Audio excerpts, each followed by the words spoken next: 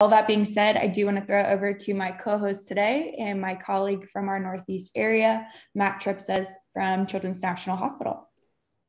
Hi, everyone. So excited to be with you all this afternoon. Um, like Betsy said, my name is Matt Tripsis. I have the pleasure of serving as the Associate Director for our Children's Miracle Network Hospitals team at Children's National in DC.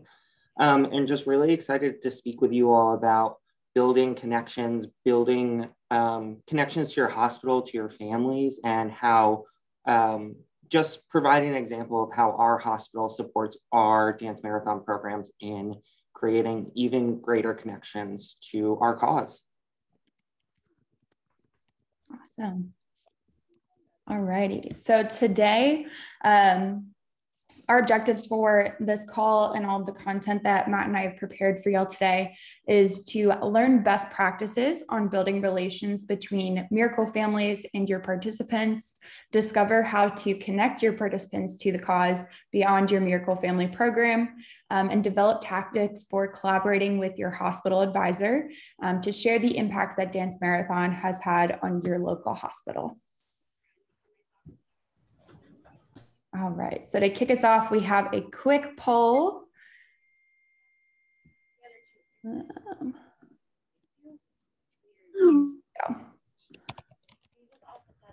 All right, so before we get things started, um, would love to hear from y'all. What is the first thing you think about when you hear cause connection? And I launched that. Can y'all see that? There we go.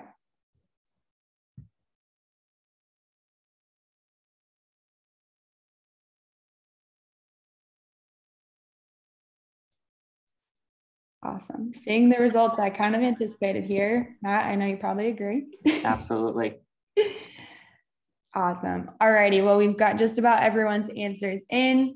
Um, as we kind of anticipated, um, does look like most people, you know, when we talk about cause connection as it pertains to dance marathon programs, um, a lot of folks are relating that back to their miracle families um, and their patient stories. Cool. Well, thanks, y'all. Um, moving forward, we're going to try that annotate, annotate feature. Sorry, words today, y'all. Um, and we've just got a couple questions, just curious to learn kind of who we have with us today and what your relationship looks like with your hospital right now and just the access that you have um, to different resources in your families. Um, okay. We've got it? No? Hmm. Okay. Not sure that it's working. Um, hmm. all good. We're going to move forward. We have a really great chat feature. Um, so let's use that chat, folks. Um, so our first question for y'all today, just so Matt and I have a better idea of who we've got with us, um, is how far is your hospital from your campus?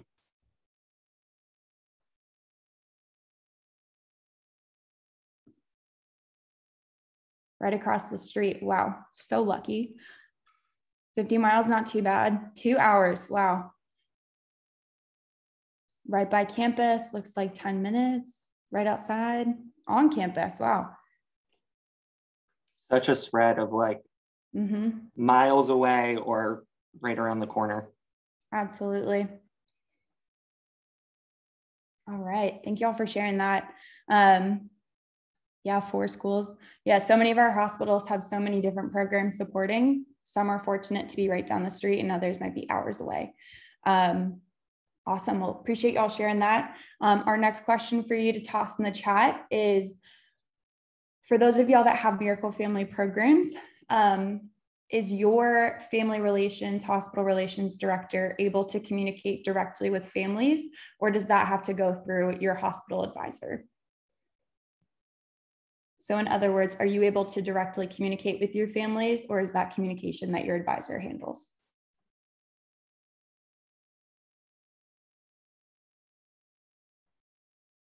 All right, we have some not sure advisors.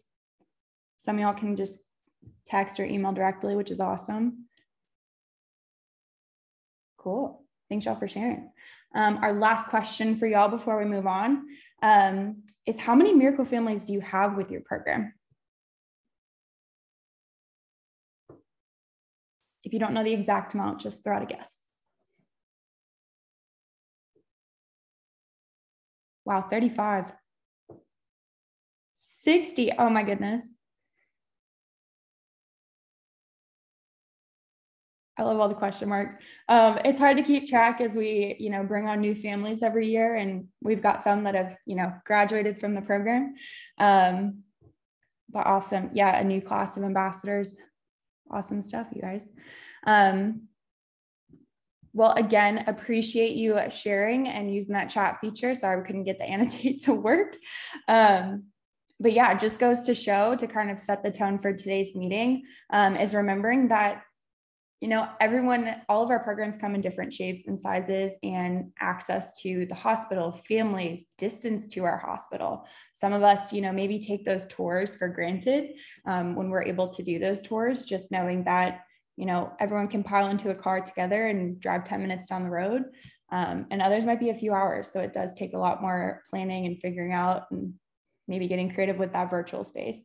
Um, so yeah, just as Matt and I go through some of this stuff today, things that we want you to keep in mind is once again, all programs are different and every program's miracle family program is different. Um, you'll hear that from us today and then also content provided from some of our on-demand sessions as well. Um, everything we show today is not a one size fits all. It's just kind of foundational information to go off of. Um, maybe you'll hear something really great that Matt and his team do at Children's National um, that isn't entirely possible to completely copy paste to your hospital and your program, um, but some really great ideas that you can then take back and modify with how it will work best for you all. Um, just things to keep in mind as you're taking notes today and um, trying to bring this back to your local hospital um, and the partnership that you currently have. Obviously our end goal by the end of today and why we do what we do with connecting our participants and our leadership boards and our donors with our hospitals and families um, is that we just want our participants and donors to discover the impact that they're having in their local community through donations to Dance Marathon. So going to kick us off with talking about those relationships with families. Yes, we pulled you earlier and it's, you know, what do we think of when we think cause connection? Yes, most of the time we do think of those families. Um, and those relationships are very important of how we connect with those families and connect them with our constituents. Um, so starting us out, we want to welcome those families into our dance marathon programs with arms wide open. Um, they're so much more than just a resource or a story. Um, they're people and their experiences um, matter and they bring a lot to show just the impact that you all get to make um, and how wonderful our children's hospitals really are and what they provide to these families. Um, so when we are inviting them and communicating with them about attending events or recording videos for folks, um, reminding them that they're part of this program. You know, that is why we reach out to them, we invite them to things. They're part of this. Uh, their kids might not be students at your university, um, they might not even live anywhere near your campus. But one thing you do share in common is that you all raise money to support the local hospital in which they have a relationship with, and their child is currently a patient or was a patient.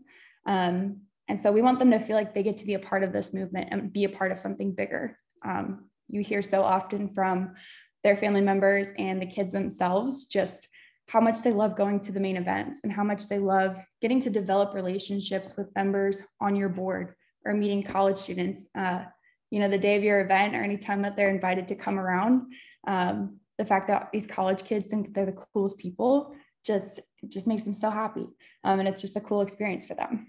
Um, so reminding that, you know, communication with them should go far outside just the asks and things that we want them to do for us, but also what we can do for them and make them feel welcome and part of our programs. Goes along with why they're they're so much more than just that resource. Or some stewardship practices. Um, so thinking about what we can do to thank them for all that they have done for us and for being so willing to dedicate their time and share their stories and come out to our events. Um, most often we see programs on the event days, whether it's putting together a gift basket, writing handwritten notes, um, just having something prepared for them the day of to enjoy your main event, you know, whether that event was virtual, something we learned in this past year is we can easily mail them like their dance marathon survival kit for the day of. Um, but when we do make this study shift back to being in person, having this stuff prepared for them the day of, you know, giving them their own space to take a step back from the big crowd um, and have a quiet place to just take a step back and enjoy their space. Um, other ideas are sending handwritten thank you notes, sending holiday cards. If you all put together like a program holiday card or something for the new year, Valentine's Day, whatever it might be, um, including them in that, um, keeping them connected to your team and your program, um, and just sending them something nice in the mail, um, even if it's just a quick thank you note uh, from a team member, just thanking them for their continued support and time that they pour into your program. Another idea is creating a thank you video from your team.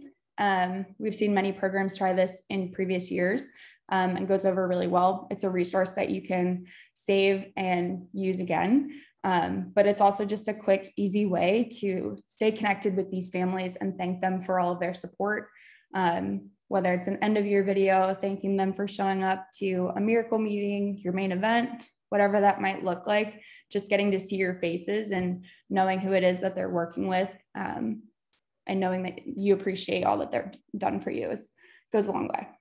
Um, last but not least, this actually came up yesterday and thought it would be really great to bring up.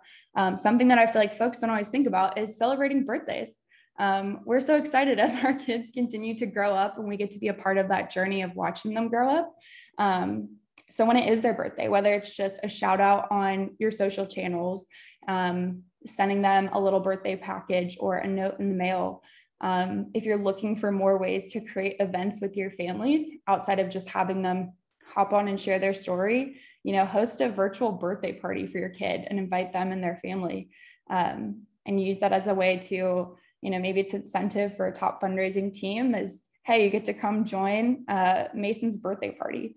Um, but just creates another activity and event to engage your team your participants potentially donors um, but then also get to celebrate you know a new chapter of life with your family and last but not least remembering that, again, these families are so much more than just their story and just the patient themselves.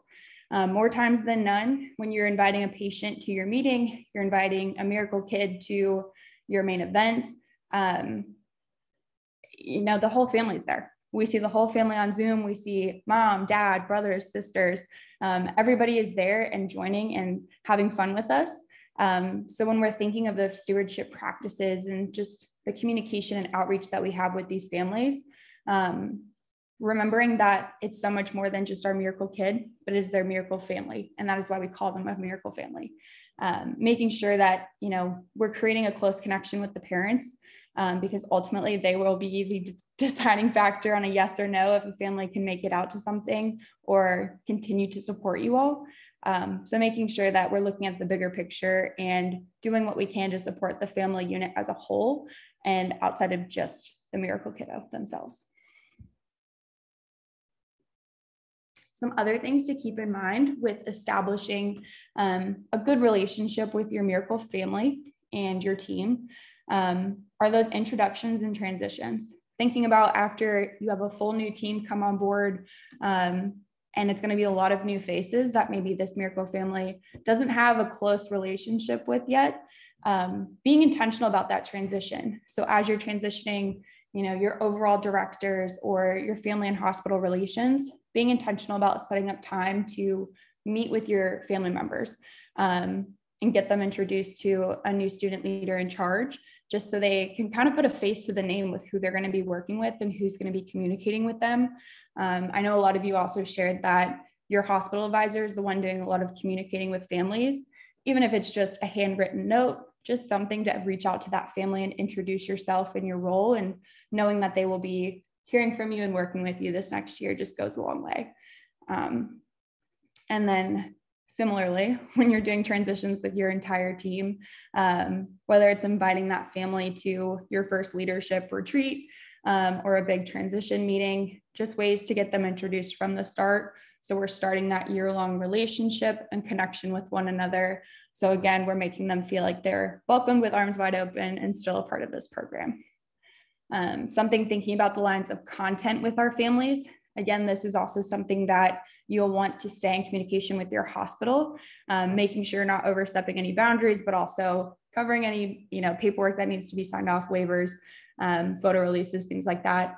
Um, but thinking about if you're in a market that has multiple dance marathon programs and we've got families who are supporting more than one dance marathon, we want to be mindful of their time. Um, and so creating schedules as it pertains to content, you know, if you want them to pop into a meeting or we need a recording or a video, whatever that might look like, being intentional about reaching out um, and scheduling this months in advance so they know and can anticipate what it is you're going to be asking of them this next year and it's not sprung on them so last minute.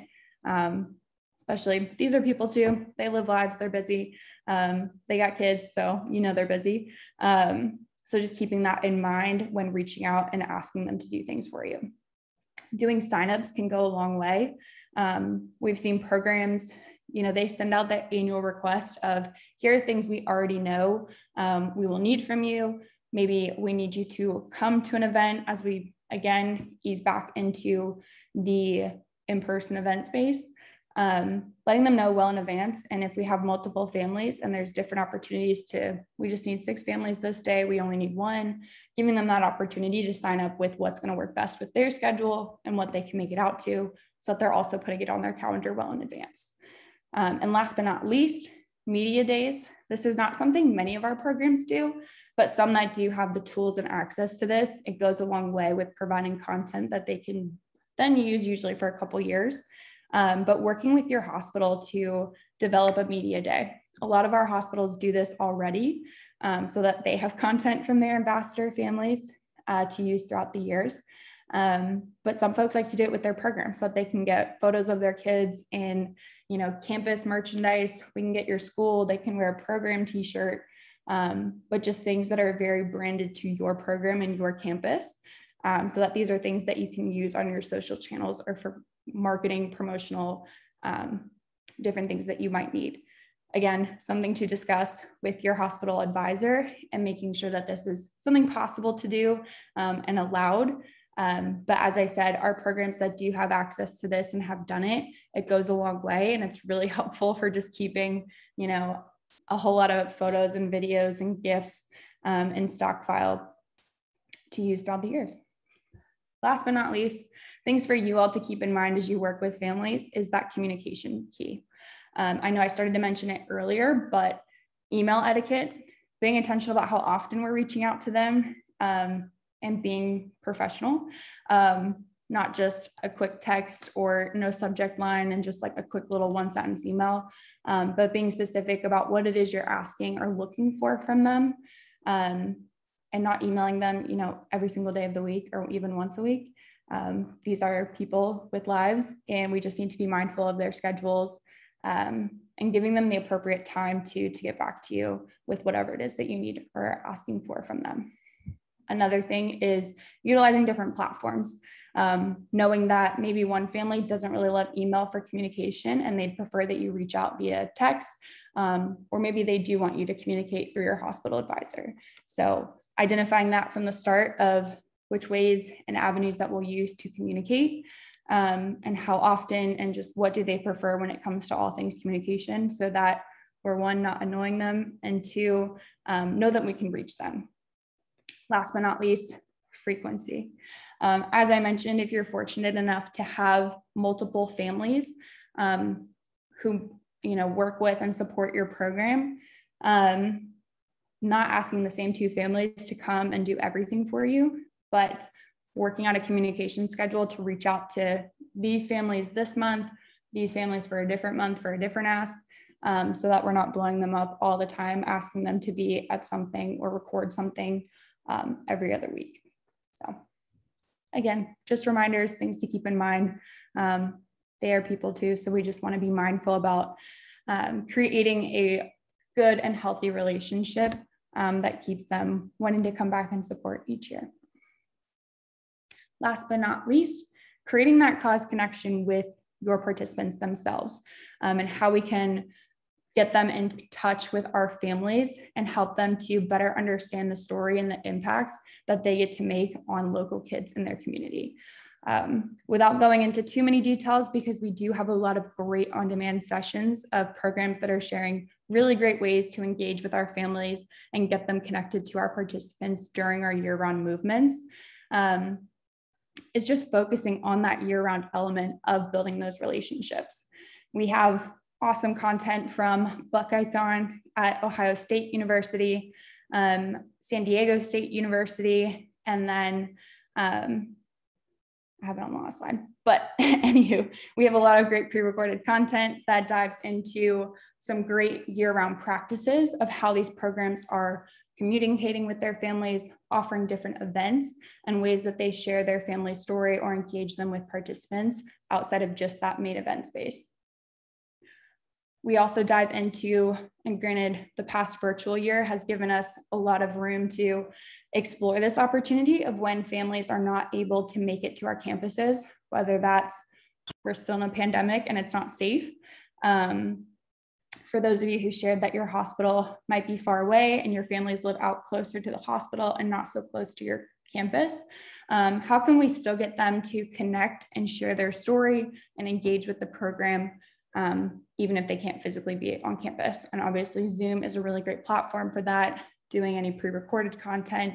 Um, and some folks this past year have started to invite their families onto social platforms to do a live presentation or story share or activity.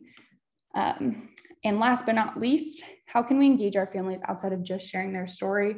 Again, you'll see this from our on demand content and programs that have already shared. Um, but whether it is Zoom parties, um, inviting folks to campus to participate in activity. You know, we've already heard their story. We know their impact and their connection to our hospital and our program. Let's invite them to do something fun, um, whether that's a craft night or if it's a community event, whether it's a local event happening that's benefiting your hospital or it's a community event that you all are hosting, reach out to your families and offer to meet them there if their family's got a time slot that they're hanging out at IHOP or a Walmart, um, offer to go meet them um, and hang out with them there and engage with efforts that they're still doing to support the hospital um, or a different community event that you all are already in the works of putting on. But bottom line is every opportunity that we have to continue to share their story and connect the family unit as a whole to our campus is what helps to rally our campus behind this cause. Um, we see people get connected and attached to these stories and the impact that they get to have. Um, and I'm about to show you guys a really great video um, from one of our programs and just how their campus was able to rally behind one student and his story. Um, and that's what really brings their campus together in supporting this cause um, is just they all really latched on. They all learned his story. They admire his strength. Um, and that's just something that they rally behind today as a program, even after, unfortunately, he's passed on. Um, so jumping into that now, what I learned is I need to stop share and jump into this, so bear with me.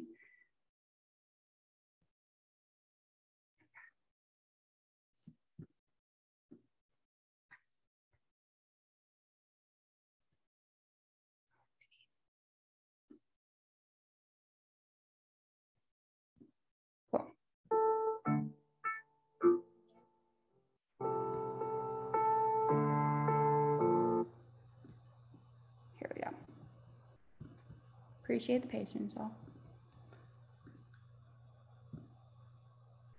Awesome. Um, so as I mentioned, and some of you might be familiar with Tyler Trent's story, um, but I love to share this video with all programs when I get the opportunity to do so. Um, the way that Purdue's campus and Purdue University Dance Marathon really rally behind Tyler's story um, and his impact on their program and their campus community and just the relationship that he had with their hospital. Um, they just do a really great job of continuing his story today and his legacy and keeping that alive. And that is such a strong part of driving their mission and bringing their campus together is through that cause connection of Tyler's story. Um, so here's here's Tyler.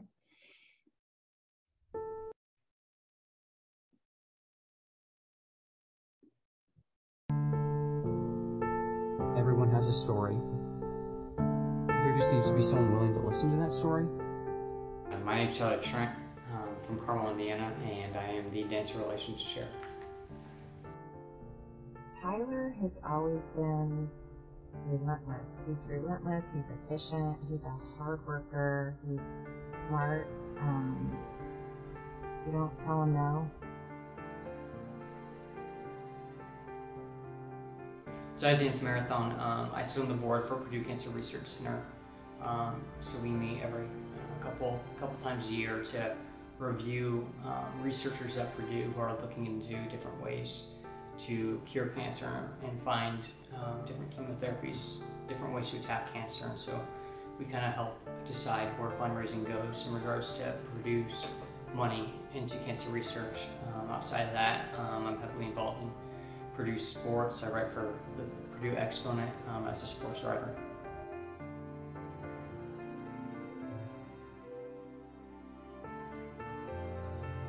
I'm not going to sit here and say um, life isn't fair to me because I got osteosarcoma three times. I'd rather go out and do something about it. So.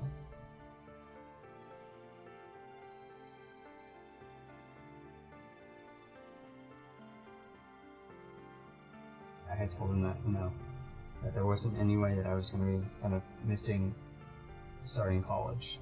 In August, a week and six days um, before classes started at Purdue, they removed my pelvis and my hip, February-ish. I started having some pain in my back, and so they did a biopsy on it. Found out that it was a, a third osteosarcoma tumor that was growing on my L3 on my spine.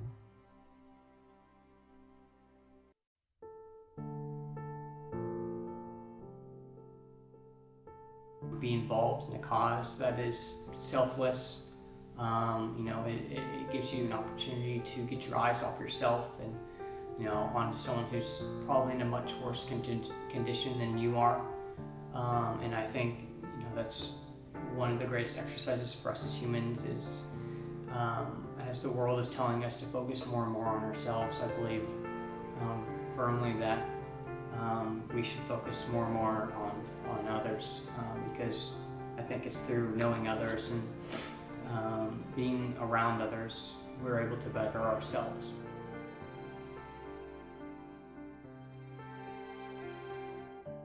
maybe my drive revolves around the legacy that I leave and the fact that, you know, I, I don't.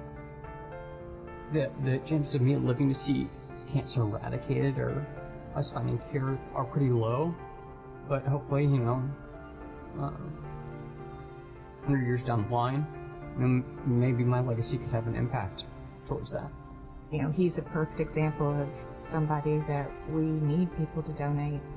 Um, we're depending on new things to keep him alive.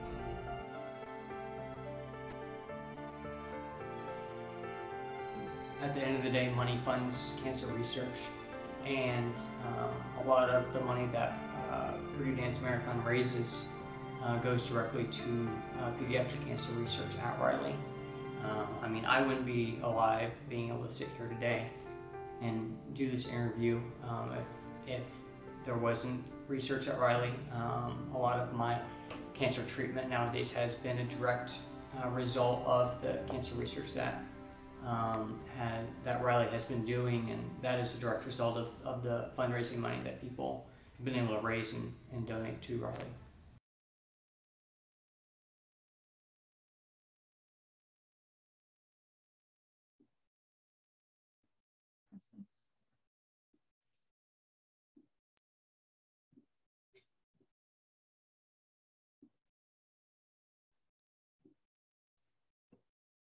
So all that being said, just want to wrap up this portion um, with our families, just to say that being able to connect our donors, um, our team members, our participants to our families and their stories, whether that's through fun events, our main event, um, connecting virtually, um, or just getting to know them as people and inviting them to have that opportunity to do so um, just go so far. And when you're able to connect your campus, just like Purdue's had this opportunity with Tyler, um, it can really go a long way with pulling your campus together to rally behind this one awesome cause and continue to make that impact that we all hope to make with our local hospital.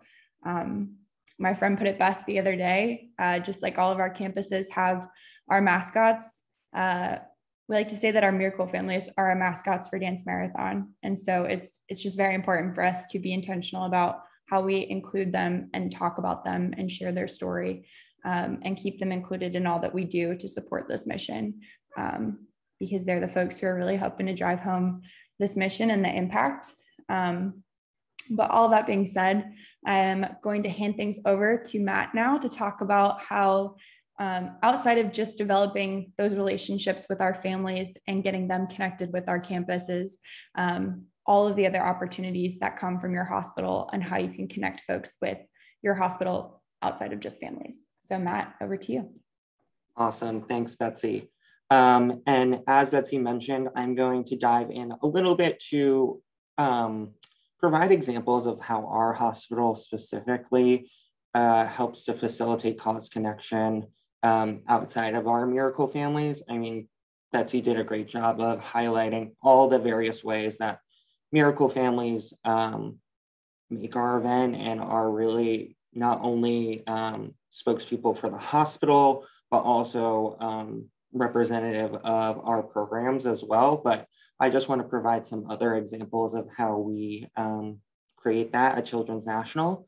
Um, and something that Betsy mentioned in the beginning that I just want to highlight again is that this is just one hospital's example. I hope that some of these, uh, what I share today helps to create a dialogue if you're a student between you and your hospital advisor and uh, figuring out what resources you all have um, and your hospital is able to provide. So just want to keep that in mind as I go through um, my few slides. But before I dive into the content, just wanted to give you a snapshot of who we are at Children's National.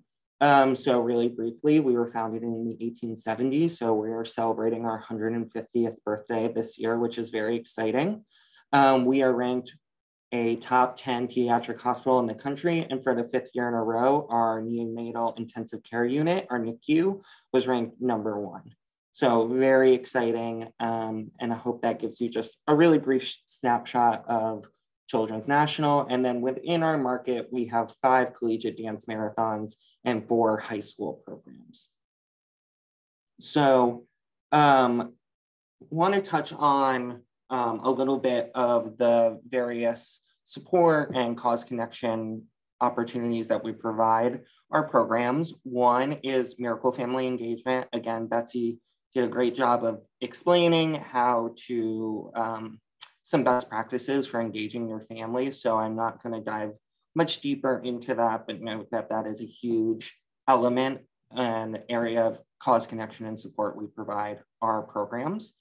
Um, one is that we also utilize our hospital space to facilitate cause connection. I know that this can be difficult for those who are further away, but we do um, we're grateful that many of, mostly all of our programs are less than an hour away from our hospital. So they're able, when we were able to have visitors come in, we were able to host retreats, provide tours to not only our student leaders, but also our dance marathon participants. So just another way of demonstrating your impact and dance marathon's impact inside the walls of the hospital. And then additionally, as we have our families come and speak and share their stories, we also make sure to invite hospital staff, um, clinicians, and leaders within our hospital so that they can provide a, a unique uh, perspective of the impact that dance marathons have on our hospital. Um, so obviously with the pandemic, it really forced us to think differently and take a pause and assess how we can continue to facilitate cause connection in a virtual space. So um, we were able to do that in a few ways. Um, uh, from my experience, I found that we had almost increased access to our hospital staff, our patient families. Um, we were able to facilitate a lot of interaction via Zoom, uh, via our Dance Marathon social media channels, um, a number of them hosted like Miracle Family Q and A's with an older family that also an older child that had an Instagram and they were able to facilitate um, a really great interaction via Instagram Live. Um, the second bullet I'm going to jump back to in just a minute.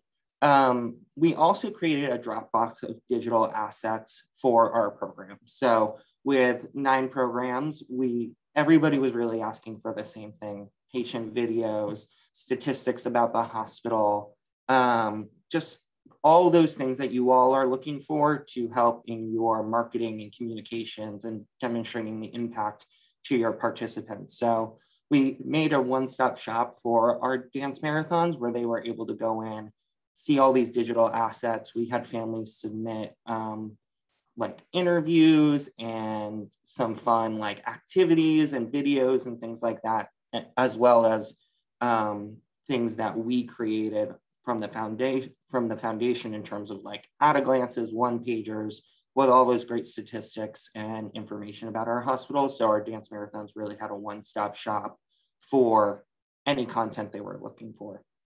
And then additionally, we also uh, really started and dove in into this idea of continued education, specifically with our foundation staff. Um, I'll be the first to say, for example, I'm certainly not an expert in marketing and communications, but we have a whole team at the foundation who is dedicated to that every single day. So for our students, we hosted, we call them lunch and learns, where we hosted a series of um, learning opportunities via Zoom. And we had those experts from the foundation come and speak to our students about marketing and communications, events, um, and a few other of those really important topics that you all are constantly thinking about and working through every single day with your programs.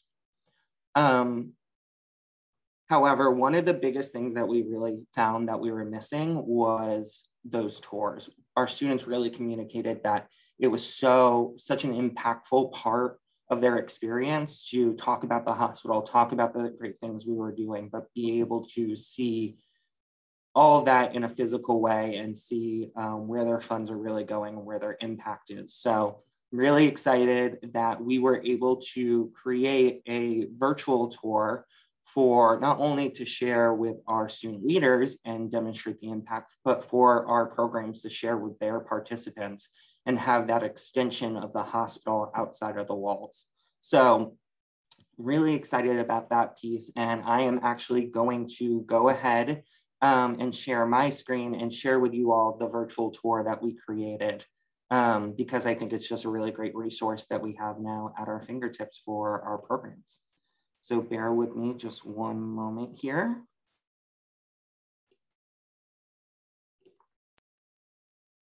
All right.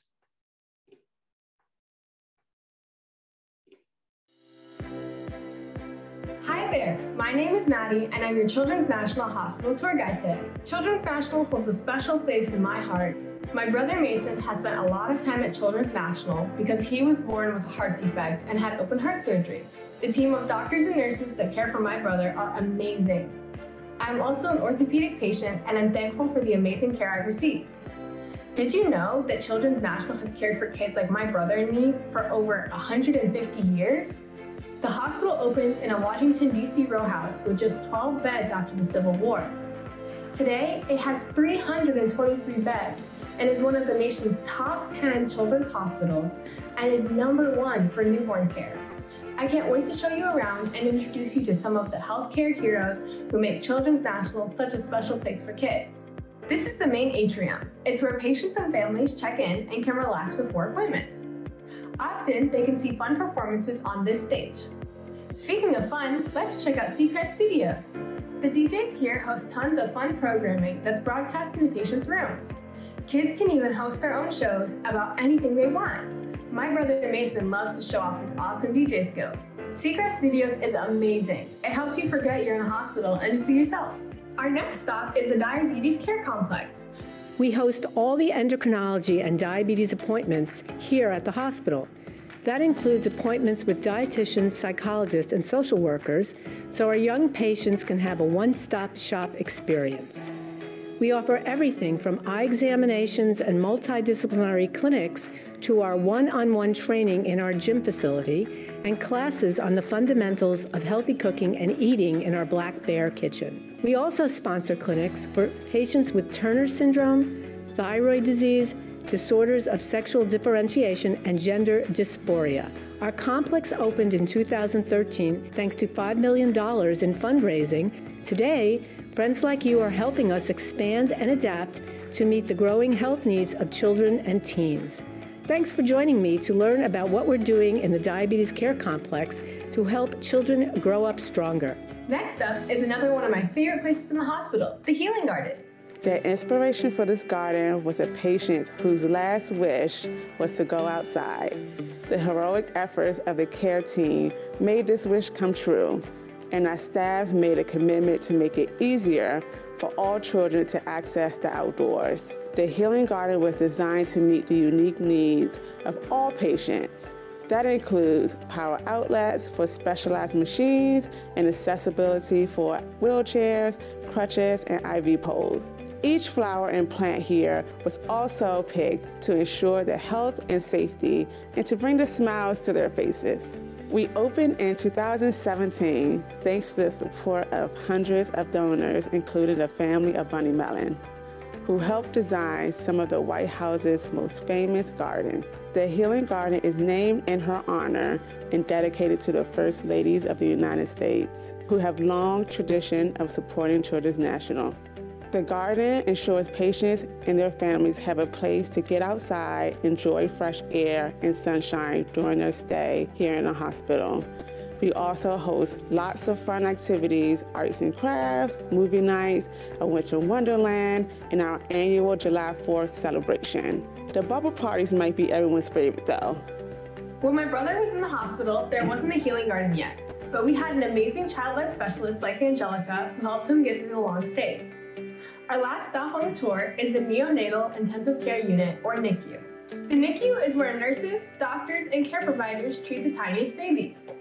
In addition to having the latest technology, the Children's National NICU was designed with input from parents and families to create a soothing and secure environment for their child's recovery. We are a 66 bed Level 4 NICU the highest level awarded by the American Academy of Pediatrics. That means our little patients and their families receive the best care possible. Our highly trained neonatologists are supported by specialised paediatric surgeons, neurologists, pharmacists, and so many other subspecialty experts. A dedicated team of more than 200 nurses cares for these babies 24 7. We also have an amazing parent support system to help families who are often going through the hardest moments in their lives. We even have a NICView camera system to connect parents who can't be here in person with their child. Our integrated multidisciplinary approach is part of what makes our NICU so special. It sets the standard for neonatal care across the country and is a big reason why we're number one in the nation for newborn care for five years in a row it's a huge honour to be number one in the country, but it's an even bigger honour to care for the tiniest patients at Children's National and their families. What you saw today is possible because of generous support from people like you. Take it from me, your gifts make a difference. If you want to learn more about how you can advance pediatric health, please reach out to a member of the foundation team.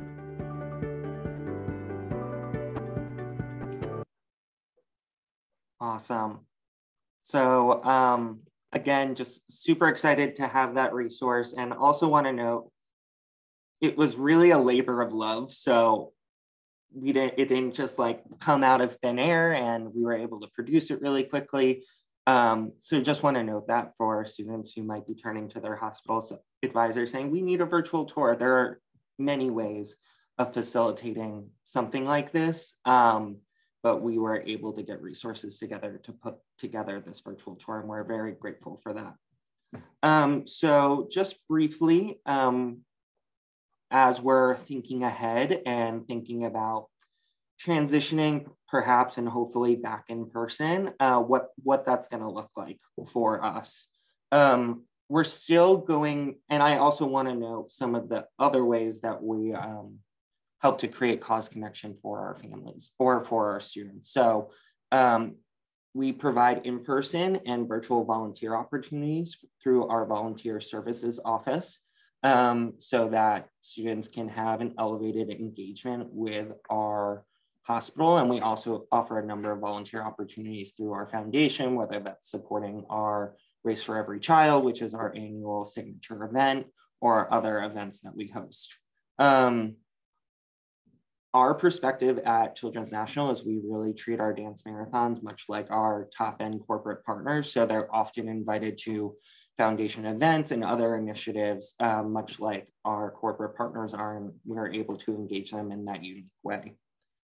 Um, and now that we have really nine programs, we try to create as many opportunities as possible to for those individuals, those students to come together, lean on each other, learn from each other, um, almost like mini collaboration meetings that many of our areas are hosting um, throughout the fall and throughout the year. Um, but just one note as we again continue to hopefully get back in person soon is that we're going to really take a hybrid approach to cause connection.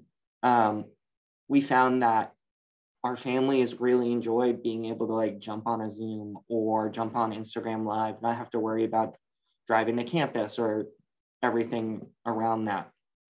Granted, many of our families are so excited to get back with our students, and we're really excited for that as well. But we learned a lot and created a lot of virtual resources that we're going to continue to use. Um, I saw in Slack just earlier that Dr. Carroll was actually responding to a couple questions just from her main stage discussion. And something that she said that really stood out to me was we must normalize a hybrid approach. And I think that is so true to talking about cause connection as well, is that um, we're able to engage with hospital staff and families in unique new ways now. Um, and I don't think that's going to go away. So um, I know for us, we're really excited to continue um, engaging with our families and our hospital and hopefully facilitating cause connection in um, ways that we just haven't in the past.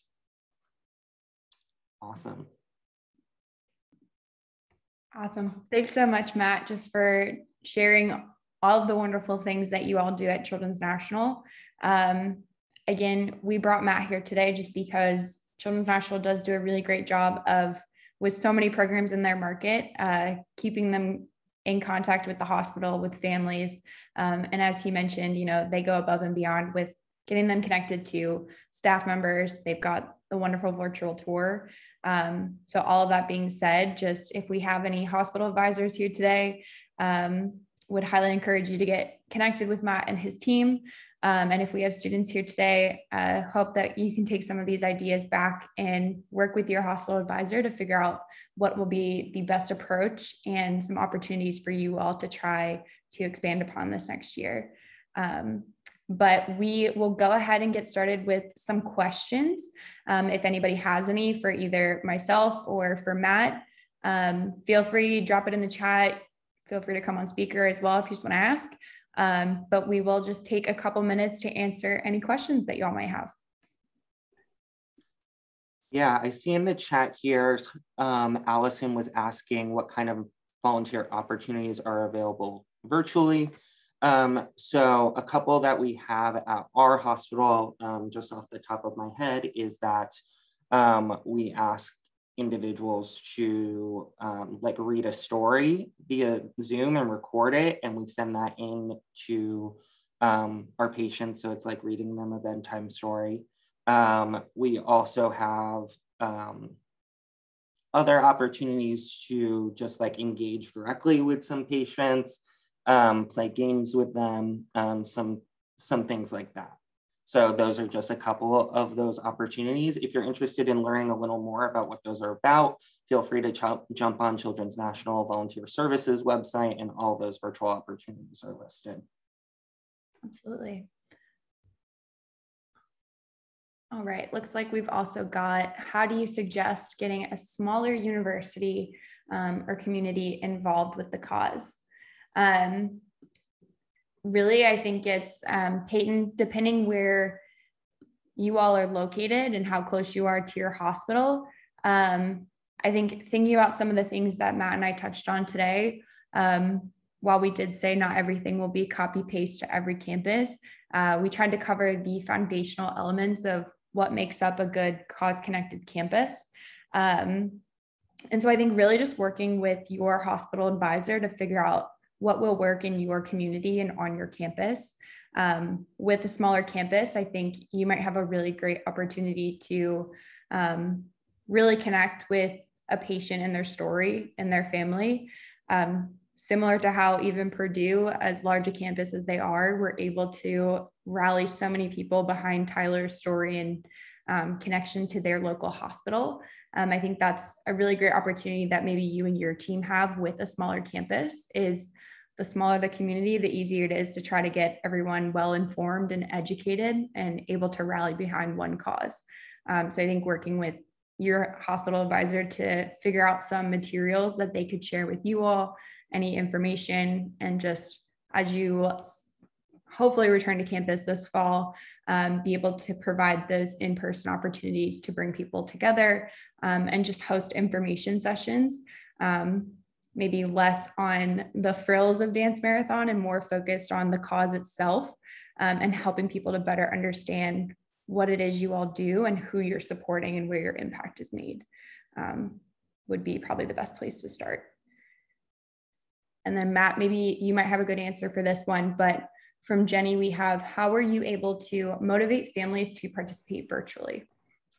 Yeah, absolutely. I was just kind of mulling over this question as you were speaking. And I think we had, we have about don't quote me here, but I believe between 15 and 20 families that we work with pretty regularly for our Children's Miracle Network um, programs.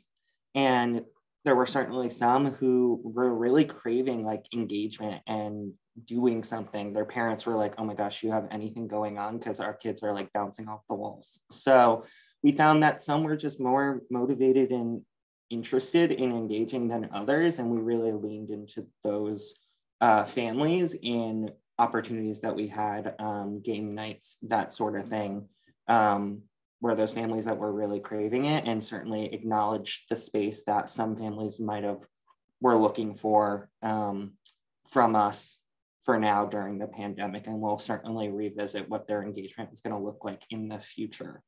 Um, and with that, I also saw that um, someone asked, what in-person virtual events have you found the Miracle families enjoy the most? Um, a couple that I just mentioned where we were able to facilitate like a game night with families. Um, one, we actually did, one of our programs did like a baking night where um, actually the family from the uh, virtual tour jumped on and they all baked cookies together. And it was just like this really cute opportunity to do something really relaxed and get to know the family a little more. But one thing I'll say is we really like poll our families and ask them what they're looking for. Um, I, my colleague Kelly is actually going to be sending out a survey soon, say asking all our families like what programs are you interested in engaging with, whether that's the dance marathon, radiothons, or corporate partner programs, um, but also like what events would you be interested in? Um, I think just asking our families what they're looking for and what would be fun for their kids um, is a great place to start and figuring out what would be best for them. Yeah. And Matt, I think your response right there ties into Sam's question that we see in the chat, which is what kind of events have you found successful to engage older miracle kids? And right, instead of, you know, trying to decide that for them, go straight to your resource there um, and ask them what it is they'd like to do you know what are they interested in? What would be fun for them? Um, and i guarantee whatever comes from that is something that they'll have a great time. Um, you know anything with miracle kids involved your participants will come out to. Um, so it'll be fun and a success no matter what. Um, a couple ideas that come to mind um, and again this stemmed from just a conversation with the miracle kid and their family of just hey what do you want to do? Because um, this particular kid was, I think, 16. Um, and so he wanted nothing more than to hang out with a bunch of college girls. So asked for a movie night because he knew that's who would be there. Uh, so they just rented one of those big inflatable like movie screens and plugged that in. They just supplied snacks that were really cheap or were able to get some stuff donated um, and just literally hosted a movie night. It was just a night for everyone to come out and hang out with uh, this miracle kid and their family. Um, and yeah, I know Matt also had said this in his uh, part of the presentation as well. Um, but some of those older kids are probably your better option to go live with on Facebook or on Instagram. A lot of them, especially Instagram, um, have their own accounts. So as long as we get permission from, from parents, um, going live with them and doing, you know, a Q&A, uh, we've seen folks hop on there and maybe it's baking with the kid, uh, they're cooking their favorite meal, uh, but just different creative ways to engage with them online um, just because they are a bit older, they live on social media. So, with permission, doing something fun with them in that live setting. Um, but yeah. All right. Any further questions? I think we're going to wrap up here just to make sure we can give you all a quick break before heading to our final um, main stage of today. But really great questions in the chat. Would love for y'all to keep those going um, in the Slack channel real quick before we head to our wrap up. Um, these discussion questions have all been shared with um, the workbook that has been shared with everybody this weekend. Um, so just as you continue to take this content back to your programs and keep that conversation going, these are just some really great questions to start that conversation um, and start the brainstorming session with you and your team. Um, quick wrap up just to highlight some points that we talked about today um, is just to always be intentional with the relationships that we build with our families and our participants. Um, do your best to work closely with your hospital advisor to develop intentional cause connection with your hospital and also what will work for you all um, in your community and on your campus. As I mentioned earlier, we do have some awesome pre-recorded content um, that also focuses on hospital and family related best practices uh, from San Diego State University, so Dance Marathon at SDSU, Ohio State University with Buckeyethon, um, and then Qthon with Quinnipiac University. Um, all great examples that they talk to. So definitely encourage y'all to check those out. And then obviously reference back to the discussion questions that we just shared. Last final reminder, um, you will continue to hear this from us, um, but please make sure to join us on Slack if you have not done so already. We have a family hospital relations Slack channel. Matt and myself are both in there along with our student leaders who are sharing on demand content. Um, so please feel free to drop any questions in there, happy to answer. Um, for those of you who maybe didn't want to be put on the spot here today, uh, feel free to share questions in there. If you have any really great practices that you'd like to share, drop those in the Slack as well. Um, and then just continue to stay connected with one another throughout this year ahead. Um, we're all navigating it together, and this is an opportunity to always continue to grow and try new things. Um, so, I really encourage y'all to stay connected as we do that together. Um, obviously, connect with your cause partnership manager, whoever they might be, um, with getting your donor drive page set up and know that we have so many resources available. You saw that we have the new website launched, super exciting. Um, and we have a final, finally made that jump from all resources living in Dropbox to now asset library can be easily accessed through that new website. Uh, awesome. And so before we let y'all go today, um, another small plug reminder, download that new Dance Marathon Donor Drive app if you've not done so already. You can do so with the QR code here. Um, do it ASAP. If your page is up and running, jump on that $100 fundraising challenge and get the awesome sticker incentive. They look great. I really want one myself. Um, and last but not least, we just have a very quick poll just to get some feedback on today's session. Um, and here you go for those of y'all still with us. But cool, once you've submitted that, um, thank you so much for joining Matt and myself today. We appreciate you all being here. We hope you learned something new today. And again, please connect with us in the Slack channel if you have any additional questions from um, our presentation today. But enjoy the rest of your DMLC. Thank you all.